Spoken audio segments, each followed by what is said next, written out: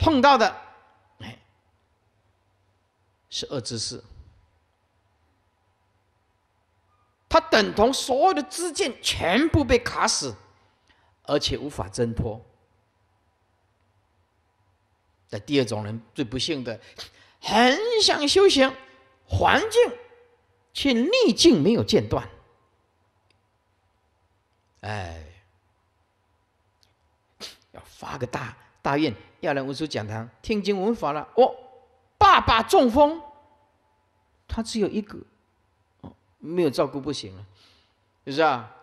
哎，很想来文殊讲堂，哎，修行共修念佛，是吧？哦，老公生病，哎，那就是种种的 这个因缘就会阻止他，一直一直阻止他。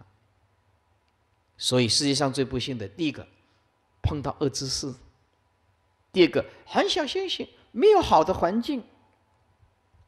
没有好的环境，修不来，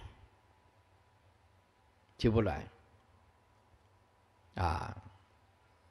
所以，因此，修行人最需远离的此类恶之事、恶之见，不但是此类啊！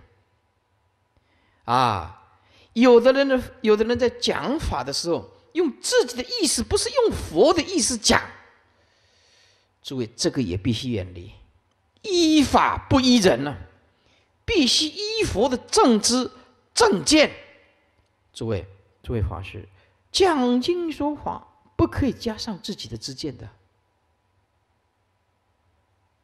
真的。讲经说法是不是一定有功德？那可不一定。你到底要把人众生引导向佛的知见成佛？还是随着你的情绪高昂啊，或者是你的情绪好恶来说法呢？卡在你个人的之见，却把它传导给众生，不是以佛的之见演讲佛法，这个罪很大的，它叫做误导众生了。所以你究竟要把众生带向成佛之道、解脱之路？啊，还是把众生带到恶之见堕火坑，而让众生没有知觉呢？初学佛法的人根本就没有能力去判断哪一个叫做善知识，哪一个叫做恶知识。诸位，初学佛法的人真的没有能力，真的没有办法。这不是讥笑他们。是我经过三十年来的修学佛道的过程，发现那个有能力，要自己有能力去判断正跟邪的，没有十五年，甚至不止，都很难。这师傅这么难吗？是很难。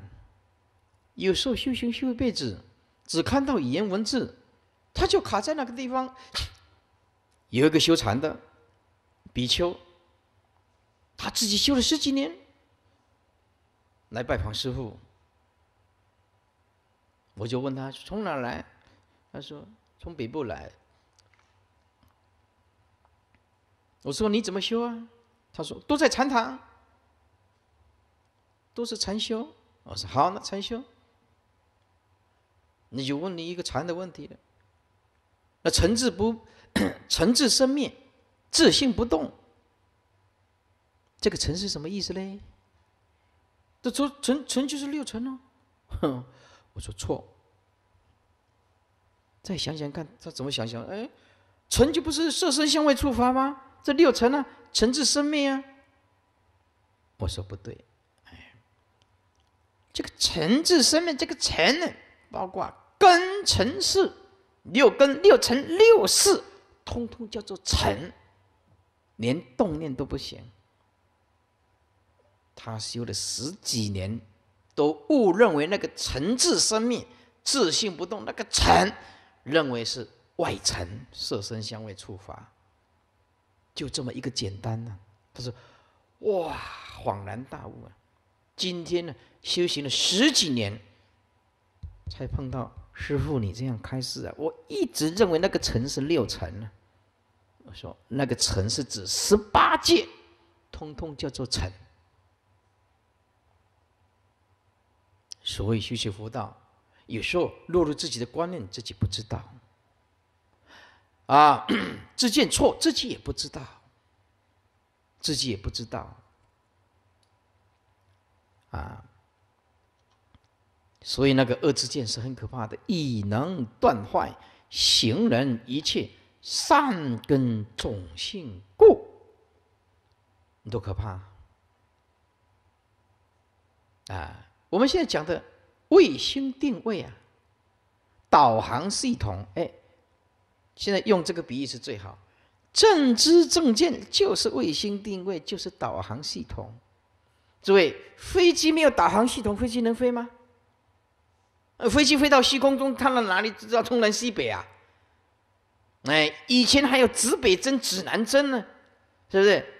哎，那是航海用的指北针、指南针呐，是不是啊？哎，现在飞机用指南针、指北针行吗？全部用卫星卫星定位啊！你指南针、指北针，你飞机开去往哪里飞啊？是不是？当然要卫星定位啊！哎，正知见就是卫星定位。你说你根本就达不到目的啊！所以我再重复强调一遍：你亲近善知识有多么的重要，在一第一步都是不能错的。大的环境有多么的重要，所以那个大智论里面讲，这粉身碎骨不离大善之事啊！粉身碎骨不离大善之事啊！为什么这样讲啊？啊，宁可下地狱闻佛名啊！为什么宁可下地狱还要听到佛的名字？佛的名字就是觉啊！也不愿升天堂啊！不闻佛的名字啊！你看一个佛道的人，修习佛道的人，对那个求法，对着佛陀的崇拜，追求宇宙的真理。都是用生命在付诸行动的，哪那么简单的呀？所以啊，师傅在啊演讲以前在师大演讲的时候，就告诉师范大学一句话：我说佛法是值得你用生命投注的，佛法是值得你用生命去投投注的啊！有人投保险，有人投股票。投注股票，哎，是不是啊？有人投注房地产，哎，我们都随喜啊，只要能赚钱或者正法都好。但是有一个最重要，投注什么？就是投注佛法，把我们的生命全部的投注佛法，生命就意义就全部显露出来。我去我去清华大学 上课的时候。一个同学很纳闷，下课以后来问师傅：“啊，他说师傅，学佛做什么？”我听了两个钟头，有一点概念。学佛做什么？我说：“先不要问我，我现在问你。你现在清华大学，我说你什么系呀？”啊，他说化工，还是讲个机械系还是什么系了啊？太久了啊。他说：“哎呀，他是什么系的？”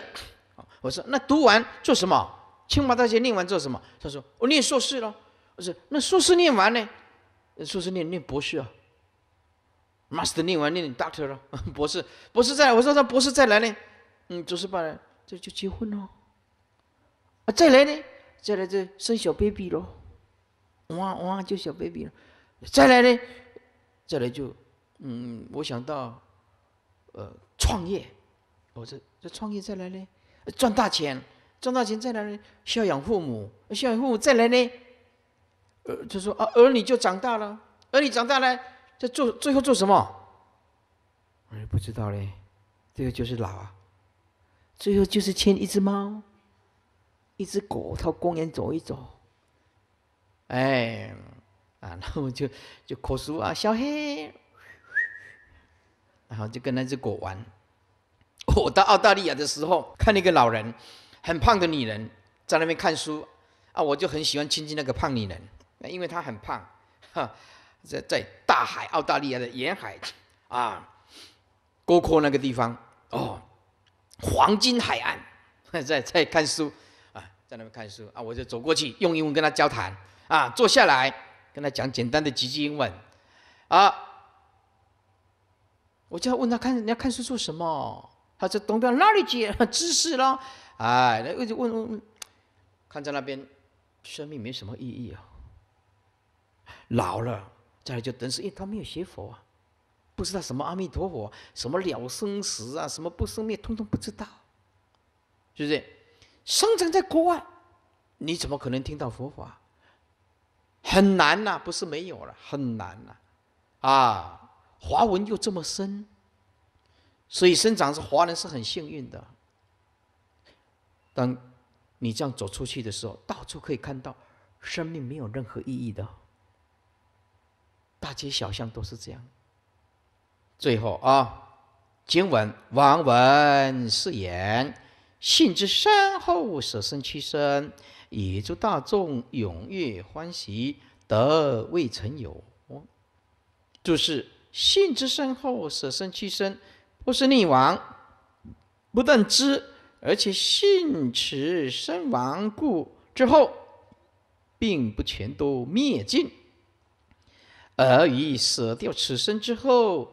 仍到他处受身，所以诸位，你不修行就继续轮回，就这么一回事儿，痛苦停不下来的。诸位，为什么要学佛？就是四个字：为了离苦得乐，而且是究竟乐。佛弟子应以法为乐，不应以欲望为乐。所以在《阿含经》，佛陀一再的这样宣示，一再的。啊，告诉这佛弟子，佛子应当以法为乐，不应以五欲六尘为乐，因为那个五欲六尘，它一定会败坏啊。不管你喝了多少酒，抽了多少烟，你交了多少的女朋友，你多少的财富，它一定会败坏的。诸位，那意思就是说，那师傅叫你这样讲，就不要读书喽，不需要拥有现在的知识性喽。我说你错了。你错了，你观念不对的。观念要改变，知识就是力量，knowledge is power。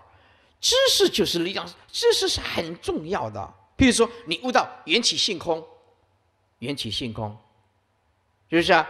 好，假设说，把你们两个，一个悟到缘起性空的，是不是啊？把你放到哪里呢？把你放到。亚马逊河，亚马逊河放下去哦，你你你知道，因为你是啊，误导缘起性空，没有错啊，万法毕竟空啊，无常啊，这个都没有错。好，熊熊就是突然呢，突然把你放到亚马逊河。好，诸位，你要跟谁写？要跟亚马逊河的原住民。学习如何的生存，你没办法活的。那个亚马逊河湿气重，知道吗？啊，雨林、原始森林不适合人类住的，它的湿度太高，没办法散热。我现在讲一个，也不是笑话。有两个美国人，有两个，我看这个纪录片的。我两有两个美国人，啊，到一个原始部落，这个原始部落每一个人都没有穿，都没有穿哦。那个美国人就说：“哎呀，这里很这是野蛮民族了哈，称人家是野蛮了，因为他还没有跟他们生活在一起啊。”后来这两个科学家。就跟他们原住民生活在一起，就说好，我彻底的了解你们为什么要这样脱光光，为什么在这里都不穿。结果这两个美国人呢，拿摄影机呀，然后跟他们跑，一天到晚啊，他去捕鱼啊，去上山啊，跟他们，结果发现气喘不过来，为什么？他有衣服没办法散热，没办法散热。这个两个科学家去了很久，还没有回来。这个美国再派两个科学家去，去的时候发现他们两个也光光的，他发现衣服是多余的，